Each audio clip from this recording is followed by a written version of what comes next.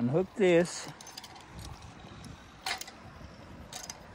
We don't want to be shoving things up her bunghole. Some of y'all might like doing that, but I'm not one.